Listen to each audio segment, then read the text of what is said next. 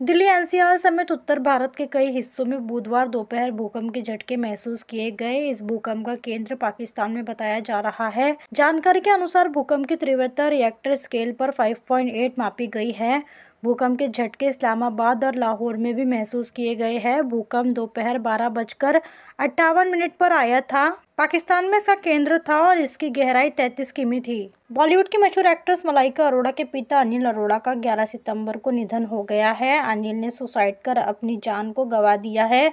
खबर है कि बुधवार सुबह करीब 9 बजे ये घटना हुई है। मामले की सूचना मिलते ही मुंबई पुलिस मौके पर पहुँच गई है और मामले की जाँच की जा रही है। हिमाचल प्रदेश की राजधानी शिमला में संजौली मस्जिद का विवाद थमने का नाम नहीं ले रहा है। शिमला के संजौली क्षेत्र में कानून और शांति व्यवस्था बनाए रखने की दिशा जिला प्रशासन ने संजौली में धारा एक लागू कर दी है। इसके लिए चप्पे चप्पे पर पुलिस बल तैनात है।